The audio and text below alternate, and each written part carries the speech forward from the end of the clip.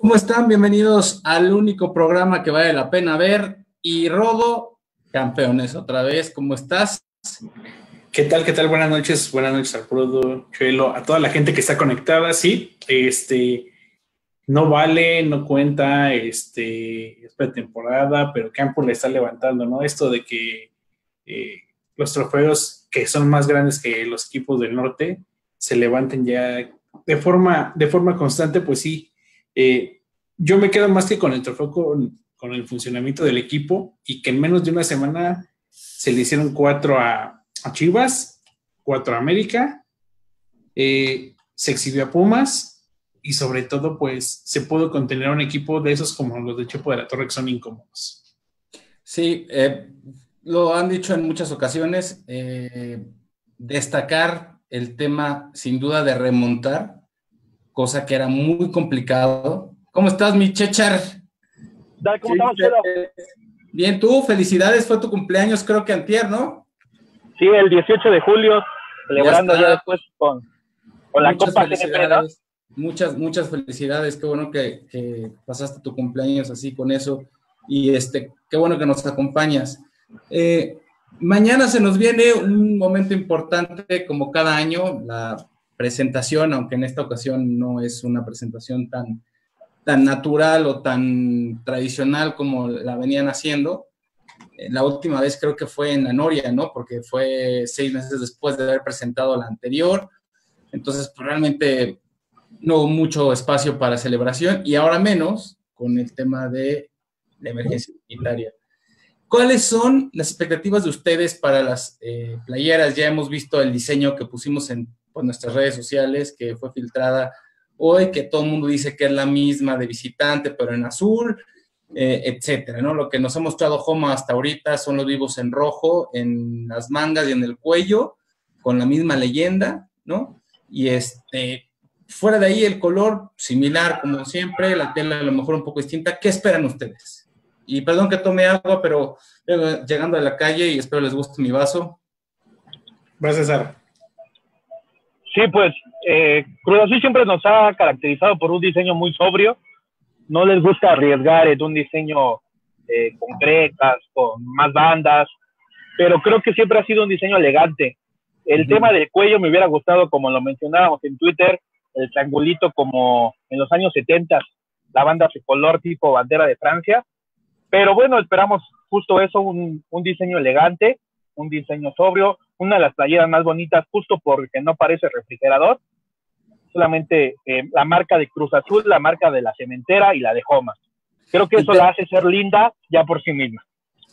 Interesante. Ahorita les voy a mencionar lo que ha pasado con la liga. Rodo, ¿tú qué esperas, además de lo que acaba de decir César, que es obviamente lo que distingue a las playeras de Cruz Azul? Si han visto la de Pumas o la de Chivas.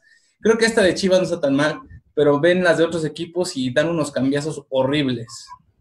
Sí, y, creo que además de la presentación de la playera, algo que me está gustando es que se están arriesgando en el tema de la comunicación, ¿no? Ya no es la simple presentación, sino que ahora sí adaptándose a estos medios sociales o estas formas de comunicar. Eh, lo que parece para muchos solo es una playera que se puede hacer en un tweet y ya estuvo. Le están dando otro auge al aficionado ese valor. Y ese hashtag de esta es la buena te, dice, te dice poco, pero a la vez te dice mucho en cuanto a, que ahora sí se atreve el equipo, ahora sí se atreve la directiva. Eso pasó definitivamente por una aprobación de eh, seguramente Billy Álvarez y de la directiva, donde ahora sí están agarrando el toro por los cuernos de, sentirse protagonistas y ser parte de esos primeros cuatro. ¿no? Yo le digo que este equipo, eh, acompañado de este nuevo proceso, está para ser de los primeros cuatro que van a jugar la liguilla y que el hecho de que la directiva lo respalde con estas eh, pequeñas campañas de comunicación como esta es la buena, refuerza más ese compromiso con la afición, cosa que no existía desde hace mucho tiempo. Sí, en lo particular, como ustedes han dicho, creo que eh, no se esperan grandes cambios, se espera un rediseño, evidentemente. Espero que Joma eh, pudiera pensar más en el aficionado mexicano y la constitución que tiene, porque evidentemente pues tenemos que comprar una talla más grande de la que es. Eh, entonces, pues eso sería un, plus, ¿no? Que no llegues a, pues, las tiendas de siempre y digas, oye, dame la 2XL o si no hay 2XL, pues ya, ¿no? Pareces ahí, este, eh, ¿cómo te puedo decir? Un sándwich mal amarrado, lo que sea. Pero bueno, independientemente de eso, eh, yo sí esperaba un cambio de escudo. La verdad es algo que yo sí esperaba, el, poder como hacer este cambio de los eh, escudos de los 70, de los 80, ¿sabes? Eso creo que sería algo que pudiéramos este, agradecer. Yo en lo particular, teniendo eso, cambia totalmente la, la, la química de, del cerebro del jugador, de todos los aficionados. Pero bueno, al final del día es, creo que respetar también el diseño y es un tema también de mercadotecnia, creo, y de lo que está registrado ante la Federación Mexicana de Fútbol, porque creo que también hay que este, registrar el, el logotipo, que creo que no hay tanto problema porque vemos a cada rato que lo cambian, incluso Club Santos hizo un cambio, aunque es mínimo, pero a nivel legal es un cambio muy importante porque cambia todo. Eh, bien, lo de la parte de la comunicación, y quería mencionarles que eh, Caliente MX, lo tengo que mencionar porque justo es lo que les quiero platicar, hizo ya una alianza con la Liga Mexicana de Fútbol y entonces están diciendo que la final va a ser Cholos, Cruz Azul o Cruz Azul Cholos, dependiendo por esta alianza que hay eh, de lana que puso Hank Ron para la Liga Mexicana. Y también decir que Cholos está pensando en jugar en su estadio y en el estacionamiento poner pantallas gigantes y cobrar mil pesos para entrar y simplemente estar ahí y ver el partido en el estacionamiento, cosa que en lo particular una pantalla mejor lo ve en mi casa. Sí, por mil pesos mejor la botana, este, comida para y con la seguridad de que pues en teoría no te vas a contagiar, ¿no? Y creo que ahí sí, creo que eso lo, lo, está haciendo bien en el aspecto de que no, no ha acelerado los procesos, ¿no? Buscando, forzando un regreso al estadio. Incluso, este, para la gente que no lo sepa, no se va a jugar en las, las primeras dos jornadas, sino en CEU, eh, por el tema de las remodelaciones y, y, para subsanar todas esas cosas, este, Ahorita, por ejemplo, me acaba de llegar un correo de Cruz Azul donde invitan a la afición a ser parte otra vez de estas pantallas digitales que se montan en los partidos, este, con solo ser parte del boletín, ¿no? Eso, eso es interesante. Ahora, mm, sí, viene el tema del patrocinio, pero creo que, creo que incluso si no existía ese tema de patrocinio, desde hace mucho tiempo no se veía línea por línea un equipo más sólido y sobre todo que se conociera, ¿no? A la perfección Hoy, hoy teníamos, lo decíamos hace ocho días, la seguridad de ir tal vez perdiendo y ver a un Cruz Azul que sabes que va a dar la vuelta, ¿no? O que por lo menos te va a empatar el partido, o que te va a hacer un gol, que te va a tener llegada. Y esa seguridad te la dan jugadores como Jonathan Rodríguez, como eh, el mismo Alexis Gutiérrez, que, que lo dijo Ordiales, les estaba para salir y se dieron cuenta de que era un error prestarlo a otro equipo. Y, y mencionar que eh, con el tema de Ordiales ha regresado un sistema sobrio de, de presentación, comunicación y ejecución de los fichajes. Eh, se ha cuidado igual que la camiseta eh, cada fichaje, lo ha demostrado de no ser el Rivero, que era creo que el más anunciado. Eh, Shaggy, nadie se lo esperaba. Dicen que pudiera haber otro, dicen que pudiera ser eh, Marquito Fabián. Sí. Este, lo mencioné hoy en, en, Twitter que yo me acuerdo mucho de un gol que parece que nadie se acuerda, pero es con Tijuana. También lo hace de fuera, no es tan bonito como el que le hace a Puebla en los últimos segundos. En el 5-0, ¿no? Eh, sí, pero al final ese gol eh, venía de unas semanas de muchísimas, muchísimos rumores de que él estaba borracho y demás. Y cuando metió el gol, toda la porra, la sangre azul todavía estaba en ese entonces, le gritaba, la porra era borracho, borracho. Y, y eso es algo que yo creo que pocos jugadores han logrado en la afición, despertar, pues más allá de la picardía y lo que les decían, aceptarlo como es, ¿no? No le pasó al Gullit, pero sí le pasó a, a, Marquito Fabián. Rodo, ¿qué tenemos en redes sociales? ¿Hay comentarios? Para, ¿Alguien nos ve? Para Samuel Carmona, sí, de hecho hay eh, más de 50 personas ahorita día conectadas. Saludos. Muy amables. Carmona, este, a qué horas va a ser la presentación de la playera. Ya está anunciado, es a las 7 de la noche. Eh, por Facebook Live de Cruz Azul. Seguramente ya es un video preparado que, que se hace en un falso en vivo para, para la gente, pero sí, 7 de la noche. Eh, probable es este. Ah, Omar Yosafat, que qué le van a poner a la Azteca. Bueno, ahorita ya están las nuevas pantallas. Para la gente conoce la Azteca, hay dos pantallas. Las pantallas es al doble de tamaño de lo que estaban habitualmente, con el doble de calidad. Eh, pues para el tema del mundial, ¿no? También se van a condicionar el tema de pintura, de resanar todas esas partes un poco ya viejas del Estadio Azteca y sobre todo eh, el tema de la salida y de los palcos, eso es como parte del primer cambio que se va a hacer en el Estadio Azteca. Que estaría bien que quitaran ese asqueroso escudo que está ahí, ¿no? Eso sería un plus o poner el de Cruz Azul también, porque para aquellos son muy jóvenes, César y yo creo que sí te tocó, pero en la época de Rodo y de tu papá y la mía, este, eh, había un logotipo y otro del otro lado, estaba el de Necaxa y el de América de un lado. Y eh, cuando empezaron a jugar más, más equipos, pues más bien lo quitaron. Fue cuando se fue Cruz Azul, fue cuando se fue Atlante, y entonces decidieron poner uno y otro. Eh, pero creo que hay comentarios muy atinados aquí. Por ejemplo, el profe, ¿cómo estás, mi profe? Dice que el vaso es de una colección del, de seis que él tiene el 1, 5 y 6. Habla de estos vasos conmemorativos que dieron en el estadio del 50 aniversario. Este es uno de mis favoritos porque vienen justamente los, campeón, los campeonatos, ¿no? Tricampeón, para aquellos que le van a Pumas, viven de un bicampeonato, se los dejamos ahí, bicampeonato. Y este, un saludo también a Efraín Peña, que dice que está aquí como siempre, gracias y te creo, y que espera que el jersey sea una joya. El profe también nos dice que los primeros juegos van a ser en CU, lo cual me parece fantástico. Si jugáramos todo el torneo ahí, que nos den la copa. Eh, Giovanni Rizzo, venga la máquina, este tiene al menos pinta mejor que otros, ojalá mantengan el nivel. Jesús Constancio Aranda nos dice saludos de Saltillo, Coahuila, saludos a ti y a toda tu familia. César, yo sé que tú eres un seguidor ferviente de, equipos europeos eh, y que conoces muy bien. Ay, ya se habían tardado.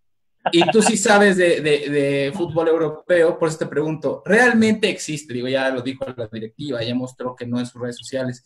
¿Realmente hay un chance de que se vaya a cabecita? No vamos a hablar de lo que esperaba Rod, no, no, no hace falta hablar del nadaplete, estamos hablando de, de, si hay oportunidad de que, de que cabecita salga del equipo Europa.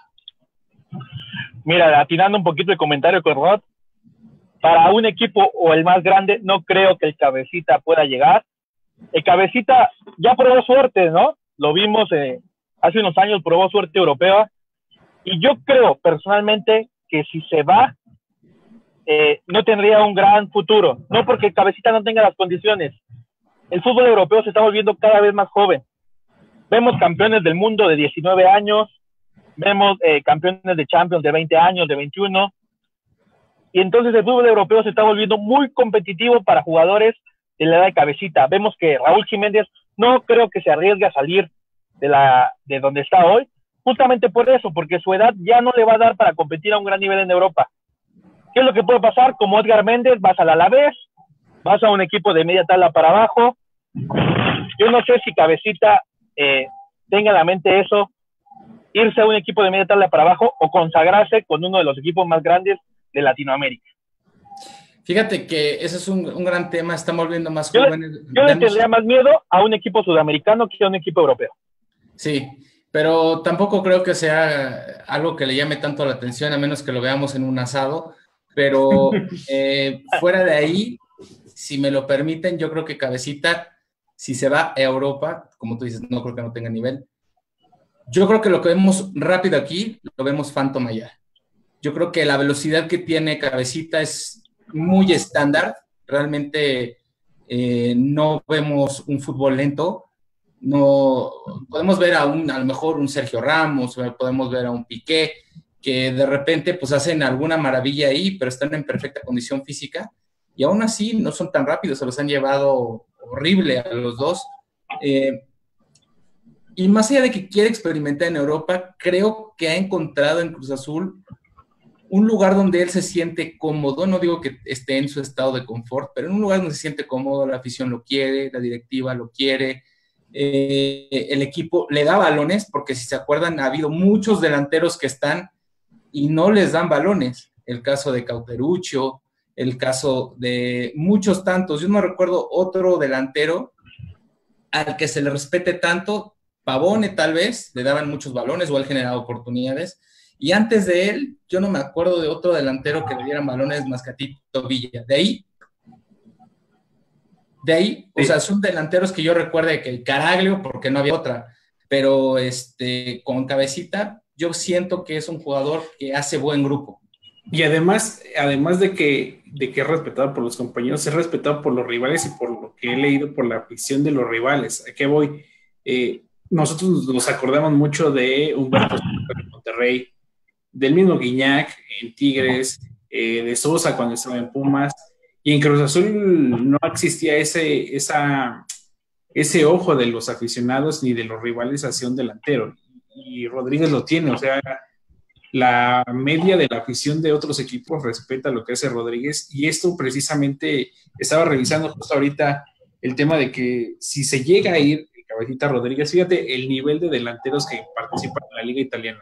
Independientemente de Ibrahimovic, eh, está Chirimóvil de, de la Lazio, están en la Juventus, obviamente, Cristiano Ronaldo, Dybala, este, hasta el mismo Higuaín creo que tiene mayor presencia física que, el Cabecita Rodríguez. Y para quien no lo sepa, eh, este, el equipo que está interesado por, el Cabecita es un equipo del lugar 11 para abajo, es decir, eh, un equipo de media tabla que incluso se puede meter en broncas de descenso, que juega con muchos sudamericanos, sí, pero que no va a destacar más de, de ni siquiera llegar a puestos de Europa League aquí como lo decía César y, lo decía Suchelo, el aspira a, ganar un mundial de CONCACAF para ir al mundial de clubes, y esa creo yo que es mejor vitrina que estar en la media tabla de Italia.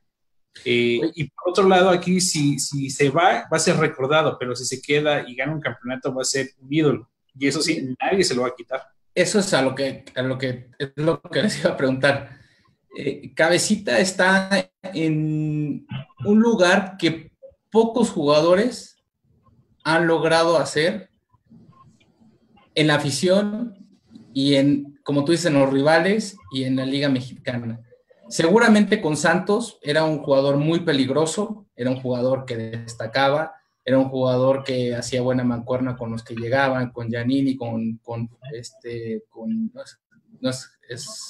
con Furch, etcétera, con los que fueran llegando hacía buena mancuerna, estaba ahí, peleaba a su lugar, etcétera pero no era un jugador que tú decías, ay, vamos contra Santos, aguas, contra, aguas con cabecita, ¿no? No. Siempre era el estándar de vamos a jugar con todo el equipo contrario. Sí, era el jugador complementario. Exacto. En Cruz Azul se ha vuelto, además de protagonista, un jugador que ha aprendido que si va a depender de sus compañeros en un mal momento, él se tiene que hacer sus oportunidades de gol y lo vimos en esta copa hubo dos o tres jugadas que él se generó de la nada y que casi son goles, o la otra que sí fue, que yo de verdad se los digo, no por amar a cabecita ni nada, pero hace cuánto no veíamos un delantero que se atreviera a recibir de primera, recortar, volver a recortar y tirar como lo hizo contra Pumas. Hace cuánto no había, de Chelito Delgado para acá, ¿cuál? Pablo Ceballos, Sí, tal vez. Tal vez, pero ¿cuál otro? A mí el gol que le hace a Memo en la Copa GNP me recordó a cuando Tito Villa mandó por las tortas a Quivaldo Moscaeda, poniendo el cuerpo para meter ese gol. O sea, digno de un toro, ¿eh? Ese gol de cabecita fue de puro, de puro aguacate. Así es. Dice por acá Gerardo Garnica que te manda un saludo, Chelo, a César y a, mí saludos. Un saludo. Este, me estoy enterando que acá Lore tuvo un accidente, entonces para que. ¿Quién? Los dos, Lore, Lore. Lore tuvo un accidente. Sí. Pero de. Pero está bien. ¿Pero de qué tipo? ¿De coche o qué? Eh, algo así, algo así. Mientras no haya sido un embriagamiento, todo está bien. No, Lore es, Lore es muy responsable. es, la jefa, creo que, de toda una empresa ahí de, de servicios. Entonces, no, Exactamente. Sí, no vamos a decir la marca porque igual la ponemos en evidencia. Pero, Lore, pues te mandamos un saludo y espero que te, te, sientas mejor. No sabemos qué te pasó, pero tú eres una fiel seguidora de este programa y, siempre nos, nos das este, retweets y todo en redes sociales. Mucho que te recuperes pronto. Ahondando en el tema de la playera, y ya van tres personas que me lo dicen hoy, va a ser de 1,399 pesos qué bueno que pensaron en la afición y no subirla en 2000. Pues este, del año pasado creo que la suben 200 pesos, pero si comparamos con, con Nike, que sube en 1999, creo que es un precio todavía ligeramente razonable para la calidad versus precio. Bueno, también hay que recordar que afortunadamente para nosotros el tema de, no estar con Nike nos favorece porque sacan una cada seis meses de algo. Entonces, este... No, y que no saquen una verde, una morada, una rosa. Sí, las, las de cloro. Y las tallas. de por sí nos quejamos con las tallas, no, yo Nike no encuentro nada, ¿eh? Sí, no, yo no. Yo te, te puedo asegurar, me gustan los diseños de Puma, eso sí te lo puedo decir, me gustan. Creo que la playa de Monterrey, las dos están muy bien. Eh, lo intentan. Algo que no hemos mencionado es que lo que se ve en, la, en los videos que ha puesto Cruz Azul, el logotipo no es tejido o con parchecitos, sino es más bien plastificado, ¿no? Es plástico, va a ser como un círculo de plástico impreso así. Entonces, dos cosas, díganle a sus mamás, a sus esposas, a sus novias, a sus novias, a sus parejas, a quien sea que les ayude, o si son ustedes, no la metan en la secadora, pónganla en un maldito gancho y déjenla secar en el aire, en el sol, donde puedan, porque si no, se les va a despegar esta madre. Si no viene bordada y es, de por sí es un problema con muchas playeras, se les va a despin, digo, se les va a, a despegar. Tengo comentarios de este lado, mi querido Rodo. Giovanni Rizo. Venga la máquina, este tiene menos. Ah, no, ya lo dije. Eh, luego dice Jesús Constancio y también Alín Chávez. Un saludo para ti, Alín. Eh, tú que eres de Pumas, pues espero que hayas disfrutado la Copa GNP y te agradecemos mucho que nos dejes jugar en nuestra segunda casa que es EU. Eh, ojalá pronto también ya se decidan a vender a Carlitos González para que este, llegue a Cruz Azul, creo que sería buena mancuerna con cabecita. Creo que tienen problemas económicos los Pumas y están viendo dónde poner a Carlos González. Y hubiera sido bueno dejar a Pacerini y meter a Carlos González. Se entendería la razón de haber dejado ir a Pacerini, pero bueno, eso es mucho decir. Saludos para ti, te saludamos así. Un saludo para ti, Aline, cuídate muchísimo. Eh, mira, sorpresa, Oli Cortés de Corona no, no, no, esto es, bueno, es... El reencuentro. se me hace cada vez, se aparece cada vez que Cruz Azul gana una copa. Saludos para ti, Oli. Dile, Le acabo de, mandar el producto a ver si nos hace favor de... Eh, ya estaba la imagen que, que tú compartiste, que compartimos nosotros en redes sociales, pero acabo de, recibir otra que prácticamente confirma el diseño este, digital. ¿Ah, sí? que pues ponla en tu celular. Entonces ya está ahí, ya lo tenemos ahí en el chat. Este, no, pero pon en tu celular y la pones en tu cámara. A ver, si le alcanzan a ver. Rólala, mi Rod. Eh, las mangas rojas confirma el tema de eh, el bordado del costado color rojo. ahorita lo vamos a subir a redes y este, pues parece que sí, que sí va a ser. Pues sí, parece que sí mantiene, mantiene, es un tono más claro de esta última playera que sacaron y un tono más fuerte de la primera Homa. Se parece mucho a la del 2018, que, fue el diseño de este, el penúltimo de Under Armour, pero pues creo que, que mantiene, mantiene los rasgos normales, no hay exceso de patrocinio afortunadamente, no vamos a ver ahí el Boeing en medio, este, me gusta, me gusta la playera. Listo, dice Pablo Aje, salúdame Chelo, saludos Pablo. Este, también eh, David Máximo Décimo Hernández, que ahí, por favor, gracias Produ por ponernos la playera, que amable. Este, nos dice que la carpa vive, la va a tener en 999, eso dice. Uh, pues de una vez. Adolfo López Mateos, señor presidente, doblete de Edson Full HD, dice aquí. Eh, dice David Máximo Décimo Hernández, dice que si es, las mejores playeras las hizo Umbro. Fíjate que creo que en términos de tela, Umbro sí la rompe, ¿eh? Umbro sí la, sí, sí la rompe. Yo creo que sí es, es muy buena, este, buena tela, fue considerada la más bonita del mundo. Eh, la vistió Chelito, la vistió Riveros, o sea, hay muchas cosas. ¿A ustedes cuál les gusta más? Además, Umbro, ahorita con el Puebla, digo, yo no soy fanático del Puebla, pero eh, tengo raíces poblanas. Eh, me gustó mucho el tercer uniforme que sacaron con Puebla, ¿eh? Y la de entrenamiento. Se arriesgaron y me gustó mucho. Además que le están dando a, a lo biodegradable, creo que la, la, playera está hecha con plástico reciclado. Entonces, la verdad, arriesgando muy bien en campañas. Pues la de Joma, eh, pues muy sobria como lo que lo decimos. Yo creo que atrás va a tener el patrocinador de la casa de apuestas. Entonces, muy, muy bonita la playera. Sí, sí, sí. Pues ahí está, yo también ya la estoy compartiendo en redes. Gracias, mi Rod. Este, ya la acabo de poner también en Twitter. Eh, más anda por ahí. Listo. Este, oye, acabo de ver una foto de Aldo Farías, por primera vez me cae bien, no se le ve la cara.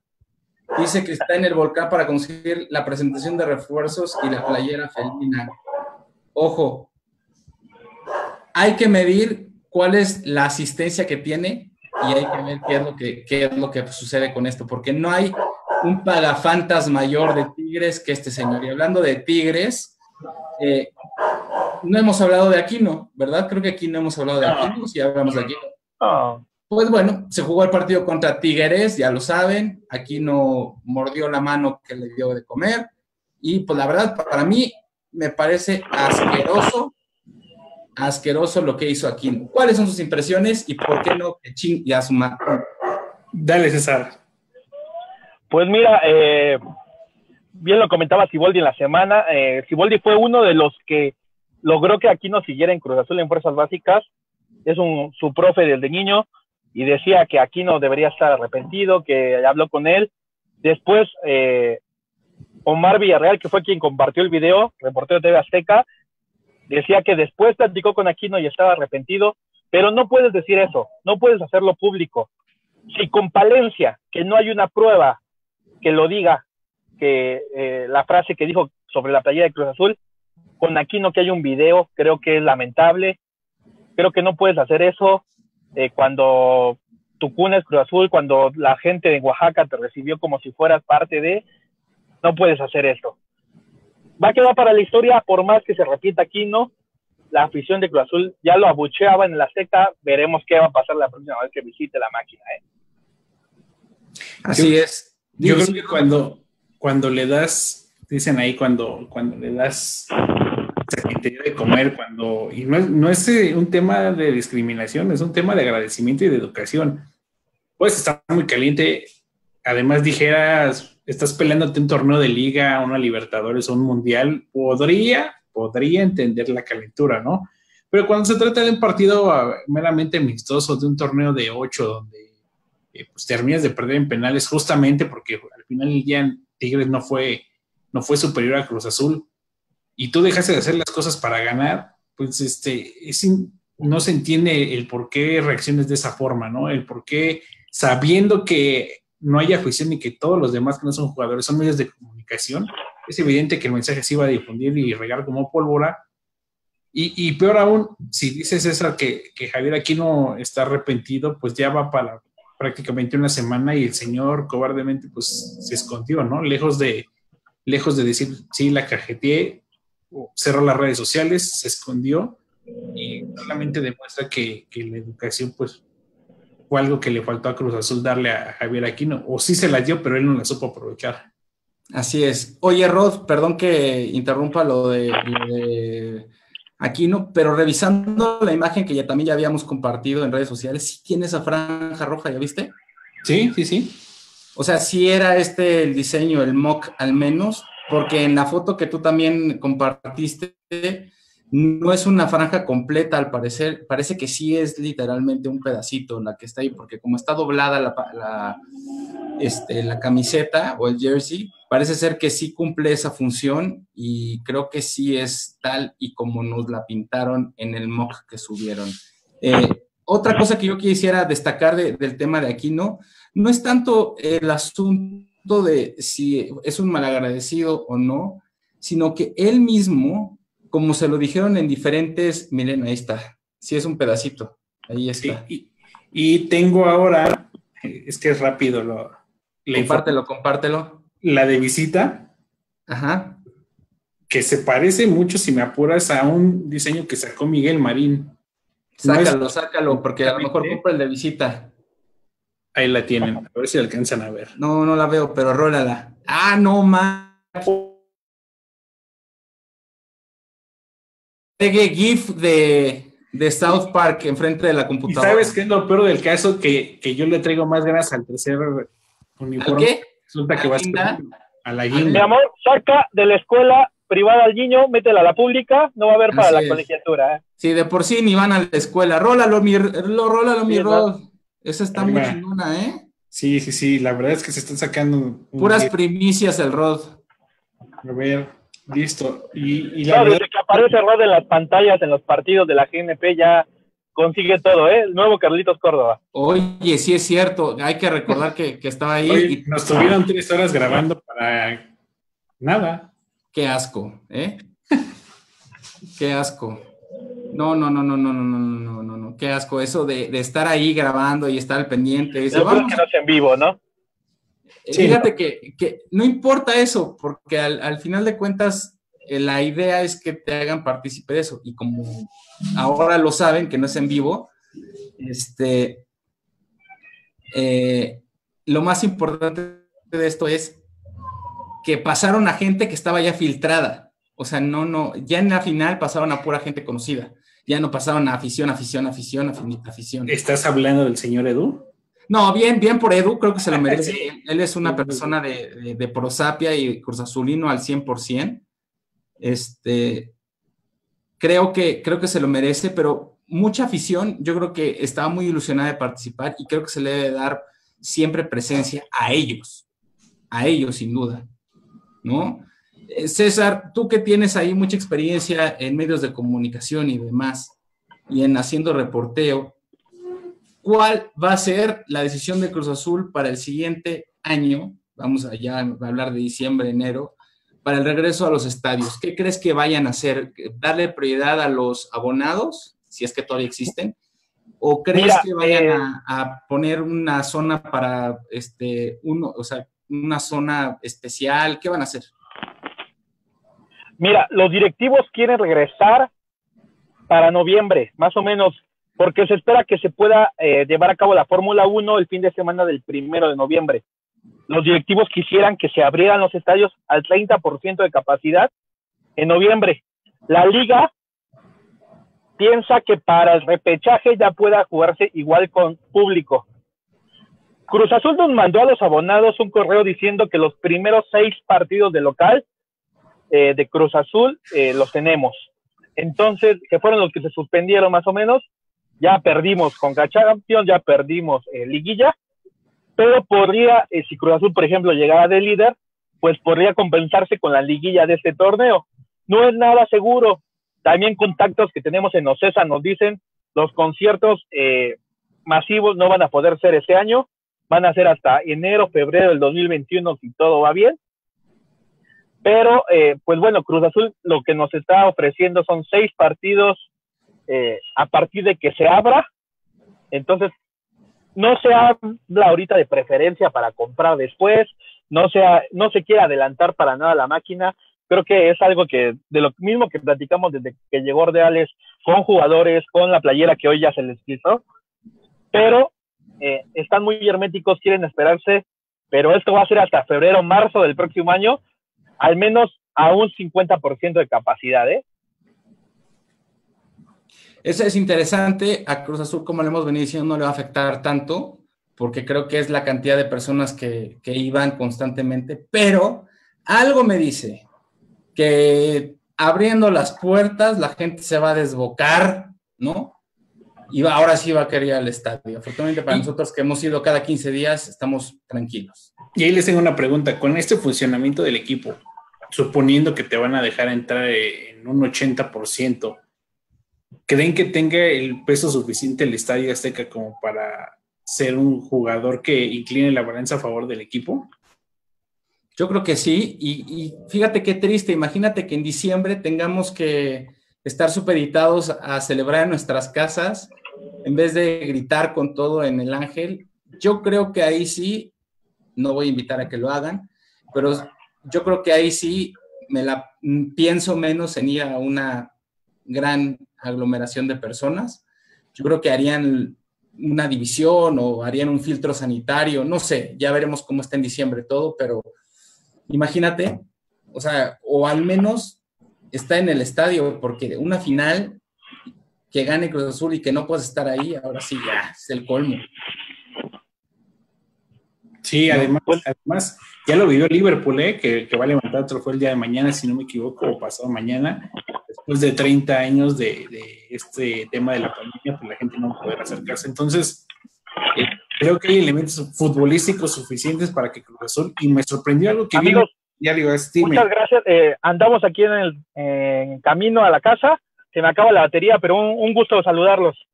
No te preocupes, César. Eh, muchas felicidades por la 34, amigo. Saludos, amigo, gracias. Quien entendió, entendió. Este, listo, tenemos cinco minutos también. Perdón que hemos estado un poco distraídos, pero estamos poniendo esta información tal como llega. Pero les agradezco mucho que estén aquí presentes. Les, eh, les quiero hacer una pregunta, bueno, a ti ahora, porque ya no estás, César. ¿Qué sigue para Cruz Azul?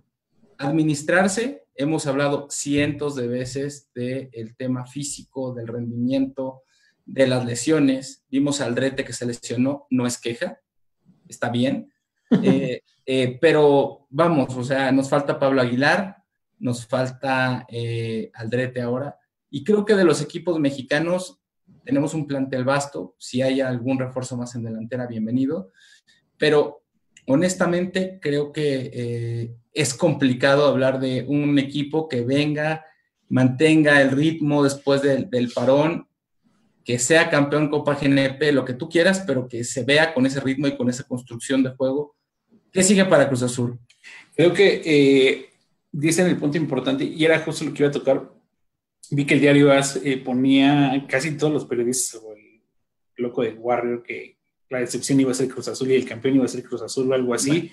Eh, tiene, entre comillas, rivales a modos las nueve primeras fechas, o quiero decir, partidos ganables sí es cierto eso, sí es cierto eso, Rod. O sea, como están construidas ahorita las, las plantillas actuales de, del fútbol, ¿crees que sea eso posible, que esté a modo? O sea, bueno, que sea una casualidad, pero que esté a modo las primeras, que son seis fechas?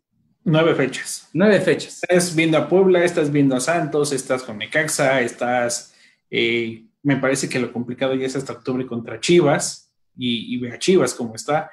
Este, el nuevo Mazatlán incluso, que se va a jugar en septiembre. a lo que voy es, creo que si Cruz Azul toma en serio esas primeras ocho fechas, puede bajar un poco el acelerador eh, a mitad de torneo. A veces es contraproducente porque mm, cuando llegas a la liguilla con el tope, te vas a la primera de cambio, ¿no? Y sabiendo que ahora van a calificar 12. Entonces, va a ser un torneo con muchas, muchas cosas que van a cambiar. Eh, te vas a preocupar más por ser de los primeros cuatro, pero también si no llegas al cuarto lugar, sabes que pues si llegas en doceavo, tienen las mismas posibilidades. Eso por un lado. Y por el otro, va a haber muchos lesionados a partir de, esta primera jornada. Yo, yo lo veía en esos partidos de la GNP y los de León, o sea, con tantito te lesionabas porque el ritmo de juego y los entrenamientos no son suficientes. Entonces creo que si Siboldi, qué bueno que tiene de a dos por posición porque hay que rotarlos. Me, alegra también que haya probado a Alexis, a Misael, a Jaiber, eh, que ya vimos que corre como Naruto, pero creo que no le hizo tan mal. Eh, tenemos a Josué Reyes, tenemos a eh, varios jugadores que pueden estar ahí supliendo en una emergencia brutal. ¿Y qué va a pasar rápidamente desde que nos corten? ¿Qué va a pasar con los equipos que están mostrando jugadores positivos en COVID. Es el caso, me parece que de Atlas y de Santos. Atlas y Necaxa. Y Necaxa, ¿no? ¿Qué va a pasar con esos partidos? ¿Se van a hacer? ¿Van a estar aislados los jugadores? ¿Se van a hacer sí o sí? Sí, con jugadores sub-20. Mira, aquí tengo el calendario para salir de dudas. Jornada 1 contra Santos. Después Puebla. CEU, ¿no? CEU. CEU, exacto. Ajá. Puebla. Después el más complicado podría ser León en jornada 3 en CEU Querétaro, eh, Juárez, San Luis, Necaxa, Atlas, Pachuca, y de ahí empieza algo complicado con Cholos.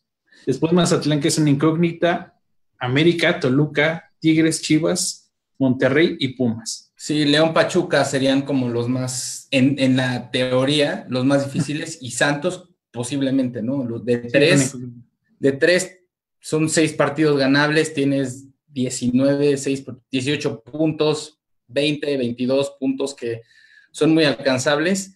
Sí, con 22 entrabas de noveno, de octavo y ahorita pues con 12 lugares estás, estás. Hay que exigirle a Cruz Azul que mantenga este ritmo o que se dosifique para que llegue bien a la liguilla. Yo diría que sí se dosificara porque es muy probable que haya con CACAF. Entonces, este, si de por sí los partidos se están empalmando, van a ser muy seguidos, también es probable que se haga una carga de partidos extras porque se de la CONCACAF. Sí, no se ha cancelado, eso es algo importante, no se ha cancelado el torneo de CONCACAF, creo que hay demasiada lana ahí puesta, entonces creo que es algo bueno. Ojo que López Gatel dijo que eh, para octubre el Gran Premio de México va a hacerse sin público, así que vayamos tomando los tiempos. Sí. Probablemente veamos un fútbol que gradualmente empieza a tener gente, empieza a tener público. Creo que es algo bueno.